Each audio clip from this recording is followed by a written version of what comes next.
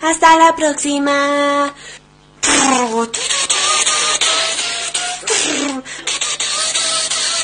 Ay, me quedo sin aire.